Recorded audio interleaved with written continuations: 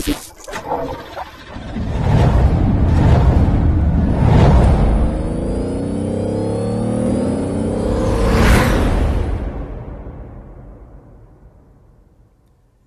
afternoon, race fans. Welcome to Lanier National Speedway in Braselton, Georgia.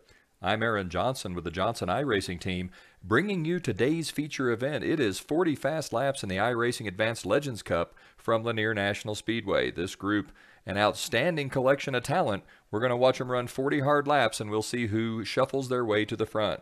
Let's have a look at today's starting lineup. Starting in the 14th spot in car number 13, racing out of the Germany, Austria, Switzerland region, that is Manuel Diaz in the Mandalorian Legends car.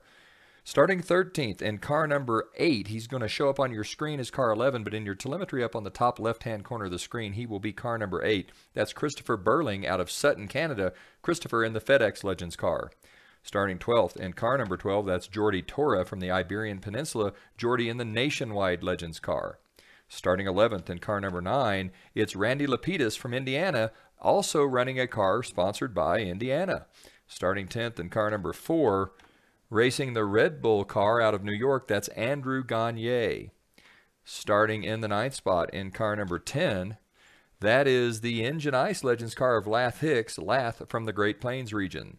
Starting eighth in car number two, racing with us out of Scandinavia, that's Tom Nordstrom. Starting seventh in car number one, it's Mick Sworder in the Made in the USA Legends car, Mick racing with us from the UK Ireland region. Starting in the sixth spot in car number five, it's the Fanatec Legends car of Carl Fitz, Carl racing with us out of Indiana. Now let's have a look at your top five starters. Starting in the fifth spot in car number 14, that's Philip Payne, Philip out of Canada. He did not make the starting grid in time, so Philip will have to start from the pits. Starting fourth in car number three, that's the Route 3 Legends car of Tyler Bingham, Tyler Racing from Georgia. Starting third in car number seven, also racing out of Georgia, is the Wrangler Legends car of Tyler Stauffer. Tyler showing up there in car seven. Starting on the front row outside, car double zero, that is Larson Parker. Larson in the Steak and Shake car. He'll show up on your telemetry as car number six, but on your screen as that Steak and Shake double zero. And on the pole in car number 11, that's Michelle Corriea, the second number 11 car. Corriea on the pole racing with us out of California. Larson Parker running out of Colorado, and both Tylers out of Georgia. So a good field here. Lots of great drivers. These drivers have combined for 192 wins. The green flag is out. And Michelle Corriea jumps out to a quick early lead. Looks like the seven of Tyler Stauffer is going to get by Parker on the inside, so that'll put Michelle Corriea out front. Stauffer second, Parker in the third spot. Just behind them, Tyler Bingham's going to be running in the fourth spot with Carl Fitz in fifth. Those are your top five cars. A little bit of action back there. Heard some sort of a collision, so there was action early. We are two laps into a 40 lap event at Lanier National Speedway. Michelle Corriea running out front. Corriea in that sort of turquoise, purple, and hot pink car. Very quick, we see someone, ooh, Larson Parker getting past the seven of Tyler Stauffer, but getting a little sideways doing it. Parker manages to hang on to that race car. It looks like Larson Parker has set his sights on tracking down the 11 of Michelle Corriea. Corriea out front, Parker currently running in the second spot. Let's follow that battle a little bit as Larson Parker beginning to pull away from the seven of Tyler Stauffer. So Larson Parker trying to close in on the 11 of Michelle Corriea. Parker in the second spot, a member of the Johnson iRacing team. And he runs pretty hard here as he looks to track down that Flying 11 car out front. It is Michelle Corriea. She's closing in on the three of Tyler Bingham. Bingham looks like he had some trouble early on. Left front fender gone on that car. Michelle Corriea leads, but Tyler, uh, sorry, Larson Parker closing in. The two cars then trying to close in on the lapped car of Tyler Bingham. Parker's there. He's about a car length behind. Looks underneath the 11 of Corriea. Turns down, hammers the throttle down the back straightaway. Larson Parker side by side. Corriea drives in hard on the outside, but it's going to be Parker taking the lead here. Larson Parker going past the 11 of Michelle Corriea. So it is Parker out front now. Michelle Corriea in the second spot. Tom Nordstrom has worked his way into third with Lath Hicks in fourth and Mick Sworder in the fifth spot as it looks as though we're seeing both Tylers struggle as Tyler Stauffer is also dropped from the back. Stauffer, an early third place runner. Sounds like another collision there. You could hear a little bit of uh, a little bit of a contact being made. We don't know who that was. As Larson Parker looks like he's trying to close in on the lapped car. That's the three of Tyler Bingham. Let's have a look at how they run on the speedway. Larson Parker in that double zero up front. Parker running a nice smooth race, beginning to pull away from the 11 of Michelle Corriea. Corriea currently in the second spot. She's about eight car lengths back. Just behind her on the speedway, the next car on the track is the two of Tom Nordstrom. Nordstrom currently running third. Then behind Nordstrom, we see the 10 of Lath Hicks. Hicks being shown in the fourth spot. Next car on the speedway is the one of Mick Sworder. Sworder running out of the UK and Ireland, currently being shown in fifth. Then just behind Sworder, that's the seven of Tyler Stauffer in sixth. Behind Stauffer, the next car on the speedway, the nine of Randy Lapidus. Lapidus currently being shown in the seventh spot. Behind them, that's the five of Carl Fitz. Fitz in eighth. Behind Fitz, it's the 13 of Manuel Diaz. Manuel currently running in the ninth spot. Next car on the speedway behind Diaz is the 11. That's the FedEx car of Christopher Burling. Burling currently being shown in the 10th spot. Then behind Burling, it's the 12 of Jordi Torra. Torra one lap down in 11th. The next car on the speedway is the double zero of Parker. So Larson Parker picking him up and putting him down. They're 14 laps into this race, now 15 laps, just beginning to start the 15 lap. Larson Parker running an outstanding race here. Nice and smooth down the back straightaway, looking high, now dives back down to the inside. The 12 of Jordi Torra giving the leader plenty of room as Larson Parker pulls away, extending the lead now to nearly a straightaway over the 11 of Michelle Corriea. Larson Parker having a fantastic run in that flying double zero. The Steak and Shake Legends car out front. Parker down the front straightaway past the start finish line to begin lap number 17. We can see Parker closing in on the 11 of Christopher Burling. Remember, Burling shows up as car number 8 in your telemetry there at the top. But as car number 11, the FedEx car on the speedway, we can see Parker closing in. Looks like Michelle Corriea's dropped back as well. Something happened to Michelle Corriea's car. Parker won. Now Nordstrom second, Hicks third, Sworder fourth, Stauffer fifth. Michelle Corriea's dropped all the way to ninth. Don't know what happened there, if she got tangled with a lapped car, but we can see she is now just in front of Larson Parker. Parker closing on the 11 of Christopher Burling down the back straightaway. Parker running a nice race. We're going to come by the start finish line this time to start lap number 20 as Parker closes in on the 11 of Christopher Burling. Larson Parker running a near flawless race thus far, doing an outstanding job controlling that red and white double zero at Lanier National Speedway. Parker now at, will lead at the halfway point. We're halfway in. Larson Parker with the lead, followed by the two of Tom Nordstrom. Parker looks to the inside of the 11 of Corriea. The other 11, that's the 11 of Burling, out front. Corriea lets him go. Parker trying to go around Burling as well. Burling, the last car on the lead lap. Larson Parker looks to the inside as they go into turn number one.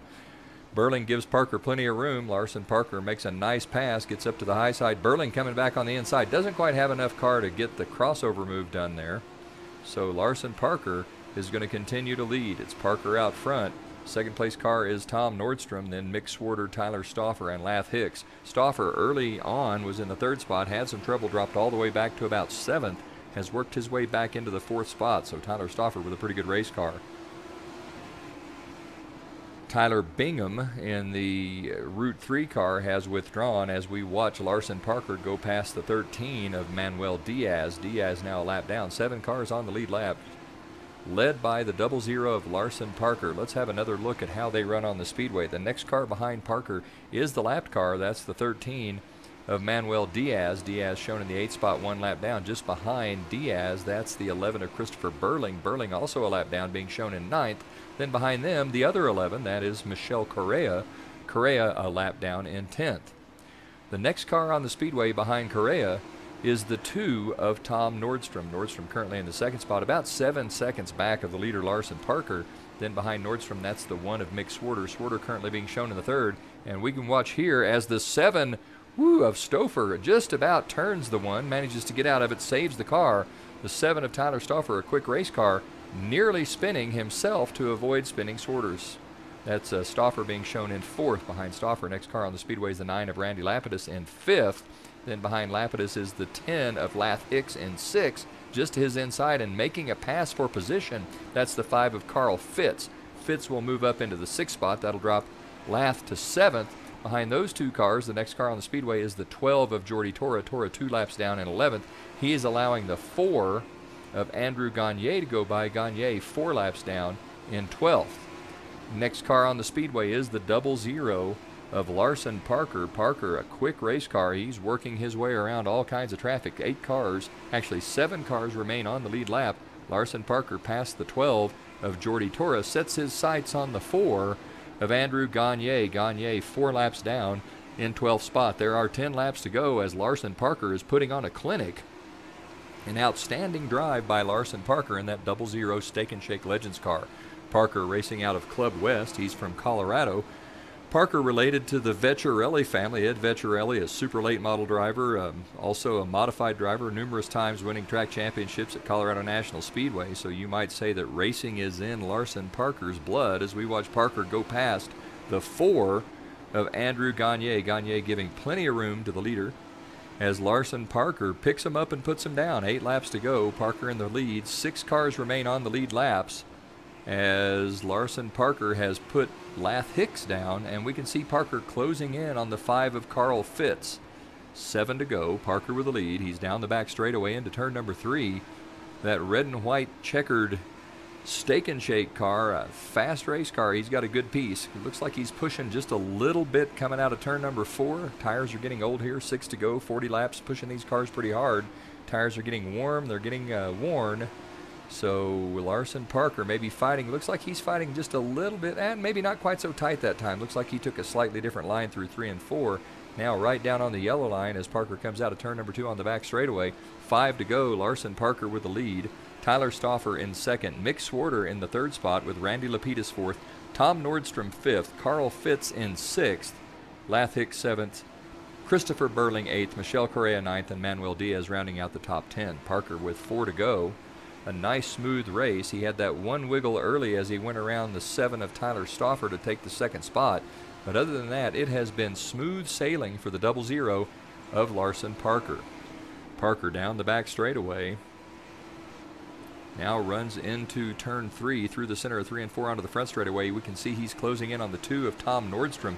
Nordstrom has dropped back into the sixth spot. Looks like Nordstrom also fighting a very, very tight race car unable to get that car down onto the yellow line, and that is the quick way around Lanier.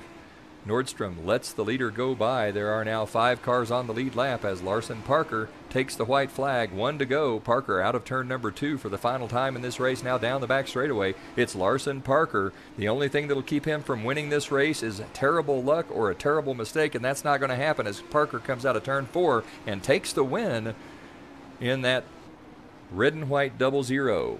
Tyler Stauffer comes home second with Mick Sworder in the third spot, Randy Lapidus in fourth, and Carl Fitz in fifth. Those five cars finish on the lead lap. Behind Fitz, it's Tom Nordstrom in sixth, Christopher Burling in seventh, Michelle Corriea in eighth, Lath Hicks in ninth, and Manuel Diaz in tenth. That's going to do it from Lanier National Speedway. An outstanding run by Larson Parker of the Johnson iRacing team. Big win and you saw it all here. For the Johnson iRacing team on the Johnson iRacing Network, this is Aaron Johnson saying, Go fast, turn left, have fun.